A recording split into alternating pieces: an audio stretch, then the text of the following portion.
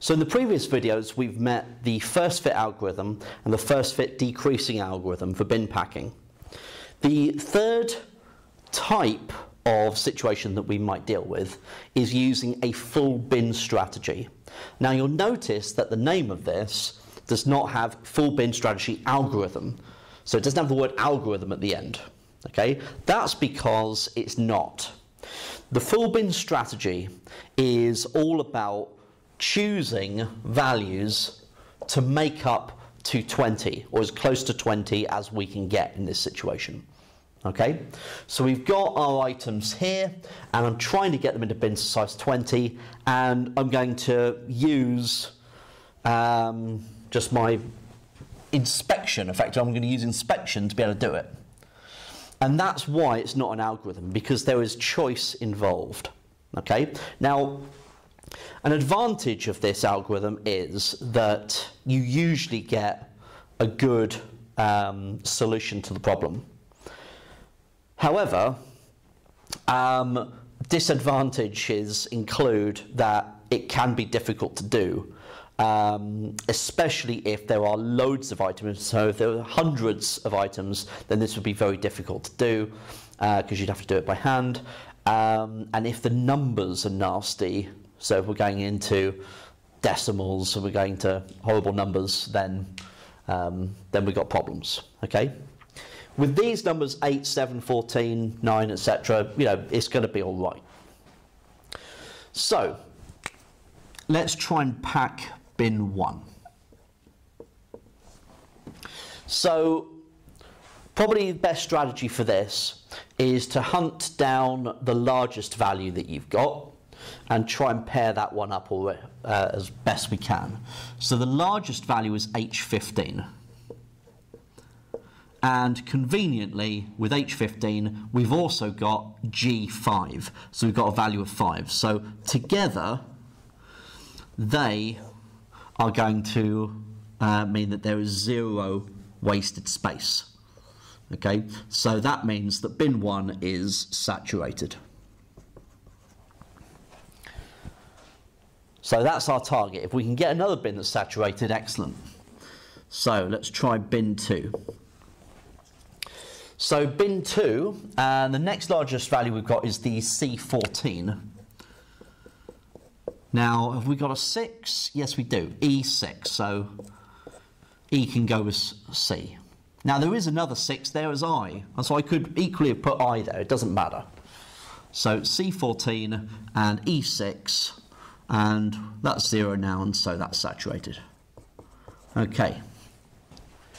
Right, so the next largest is 9. So bin 3, let's go with D9. Now, D9, um, what can we do with that? Well, we don't have an 11. And with the numbers that we have left, we can't make 11.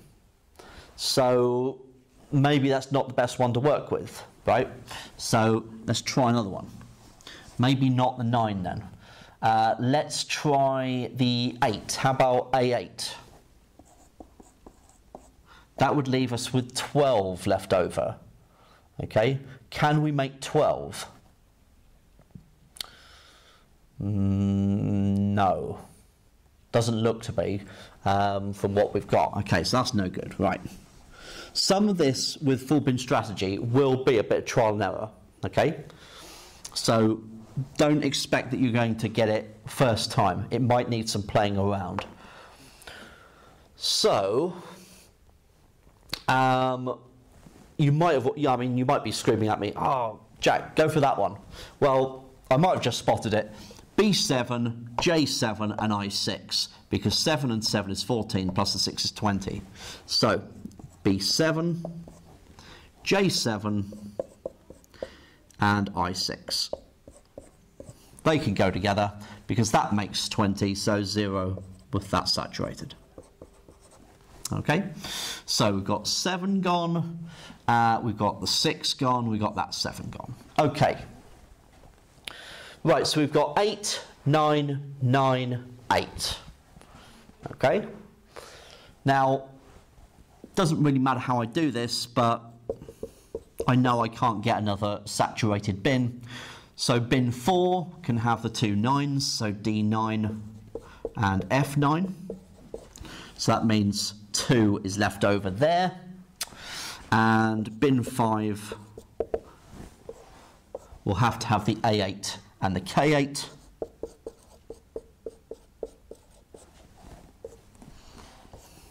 So that would be 16 in total, so there's 4 left over there.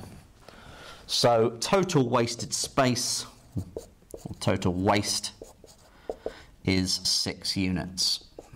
Okay, so I didn't do any better than the first fit decreasing algorithm in the previous video. Um, but the point of this is that what you should do with a full bin strategy is you should try um, a few different scenarios. If you can, try and work your way through, trying to get um, as many of those bins saturated as possible, because you're just trying to minimize that waste that you've got here. Okay, so it might take a few goes to find the most optimal solution, um, but you know that's what we got to do. Okay, so there's uh, there's no other way around it. Unfortunately, that's that's the problem with it not being an algorithm. Okay, the fact that we do have to actually play around with it to see um, if we can improve upon the solution that we found.